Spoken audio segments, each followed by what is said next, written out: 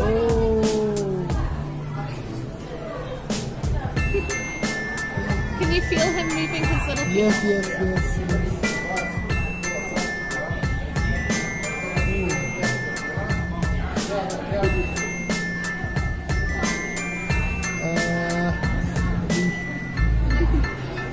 They're really cool. They're so um, yeah. they're surprisingly soft. People think starfish are hard, but these ones are quite soft. Uh, this one here is quite hard.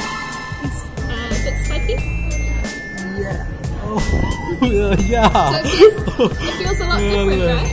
Um, so this one here is an 11 armed sea star. So they usually This have is a starfish. arms. Yeah, that's a starfish. It's like octopus. Um, they can have up to 20 arms at a time. 20 arms. Yeah. Great.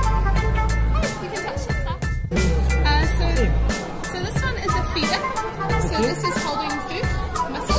Right, right. So this little one is a baby version of this. Okay. And then there's also a pillow. And the last one? Uh, yes, so these ones, so these are all the same species